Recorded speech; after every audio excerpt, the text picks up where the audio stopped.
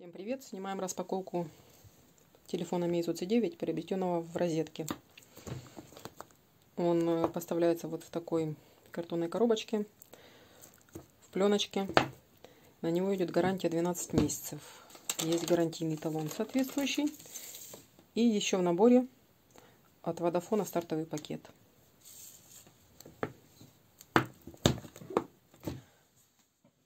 Вот сняли оболочку с него, так сказать.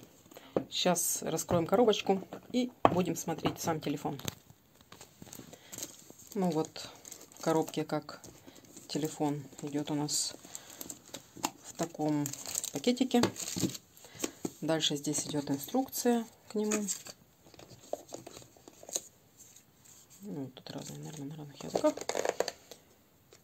Так, открываем дальше. Вот Батарея здесь съемная. Как в старые добрые времена. Сейчас уже такое не часто увидишь съемную батарею. На 3000 мАч. Так, зарядка у нас э, микро-USB. USB-порт. И сам адаптер. Вот он.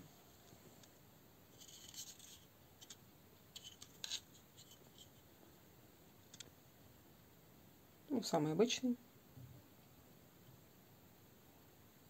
Смотрите. Все написано. Все, больше ничего нет. Сама коробочка. Ну, приступим, посмотрим телефон. Телефон поставляется вот тут в транспортировочной пленке и в заводской пленке. Вот здесь, если мы снимем, здесь еще одна пленочка есть на экране. Вот. Батарея, как я уже говорила, на 3000 мАч.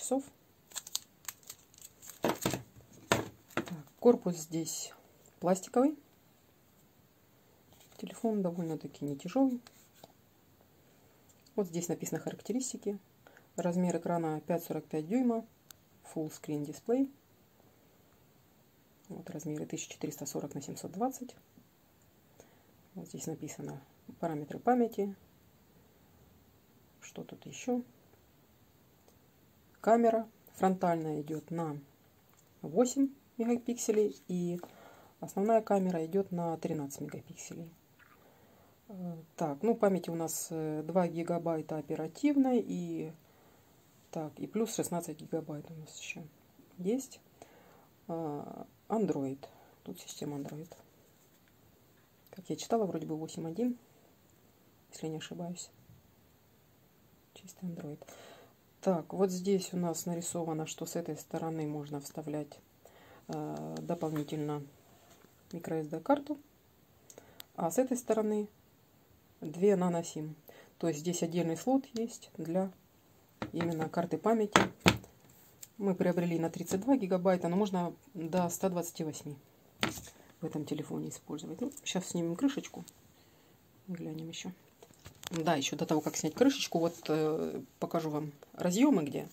Разъемы вот в нижней части.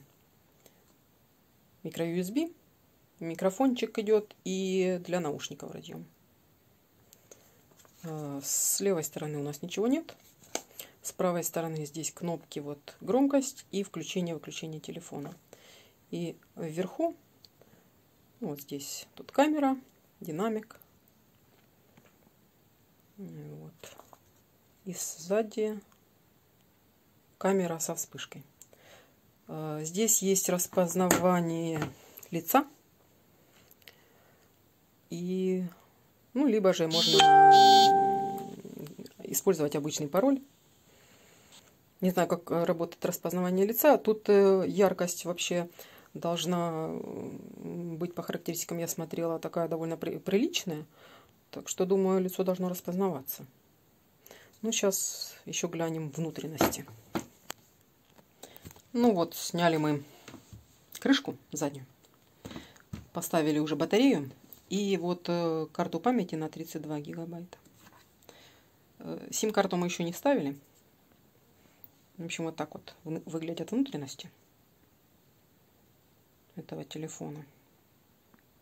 Сейчас посмотрим, сейчас снимем эту пленочку, посмотрим, как он будет э, показывать экранчик наш. Угу, включаем. Ой, так, появилась заставочка. В общем, ждем.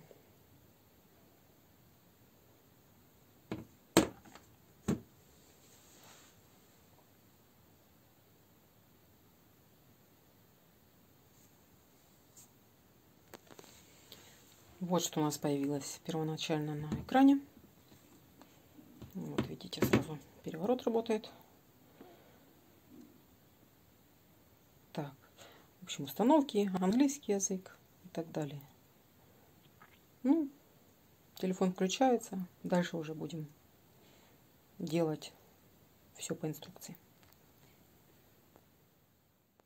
В общем, установили все настройки, язык и так далее. Вот какой у нас экранчик получился. Довольно-таки все прилично выглядит. Вот, смотрите.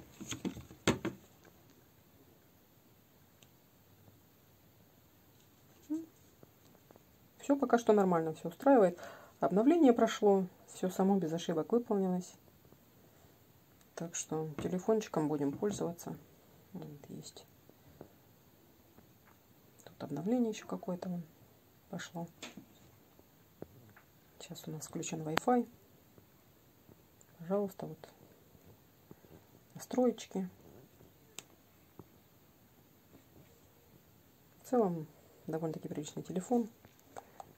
Мы брали для уже не молодых людей, так скажем. Им игры не нужны, поэтому для того, чтобы звонить, там в Вайбере, допустим, переписываться, посмотреть что-то, в интернете вполне подойдет такой телефон. Ну, спасибо розетке, будем пользоваться. Ну, вот мы включили просто музыку для примера звучания.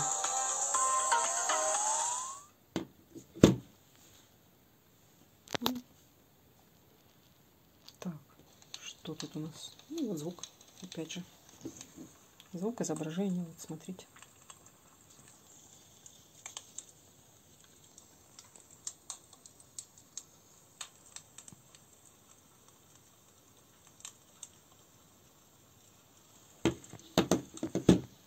Ну, вполне прилично выглядит. Здесь громкость. Вот можно вот сейчас на максимуме. Бегунок двигается. Пожалуйста.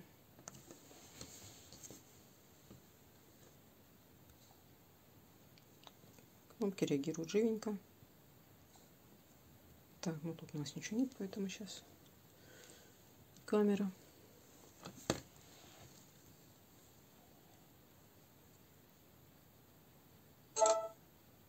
Угу. Вот наше фото.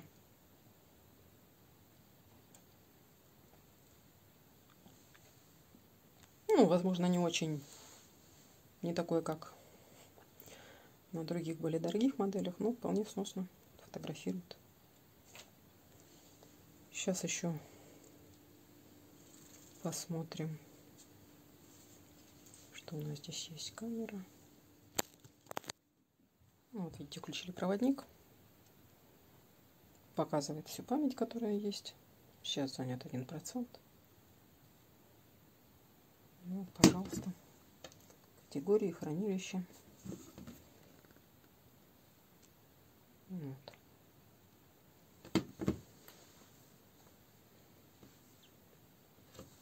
В общем, телефон бюджетный, но довольно-таки приличный за эту цену вполне отлично.